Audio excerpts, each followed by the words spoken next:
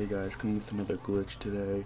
Uh, with this glitch, uh, the warden and the zombies can't hurt you, but dogs can, so be careful of that. And the wardens sometimes don't run to you, they'll just spawn in and stay in their location. So if you stay in the glitch long enough and you drop down, you might have like 10 wardens after you, so be careful. So what you guys want to have for perks, or what I like to have at least, is having Stamin-Up, stronghold, electric burst, and mule kick for that extra gun. Also, you will need to have the rags for this glitch. Uh, you know, also I like stock option and burned out just in case uh, you get overwhelmed with dogs. The you know burned out will kill the dogs just in case.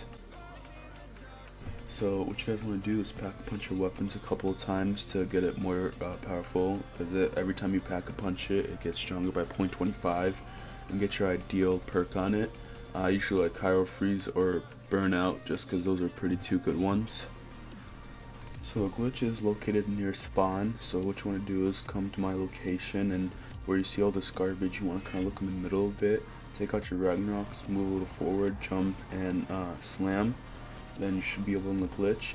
Now if you do get hit, because sometimes you will, you either should move around, and if that doesn't work, just go off and then do it again, because sometimes it doesn't work, because either you will move yourself and the zombies will end up hitting you, or you know something else will happen. So if you do get hit the glitch still works. You just have to either adjust yourself or get down and then do the glitch again. I do hope you enjoyed the video. If you did please leave a like subscribe for more future content and I'll talk to you guys later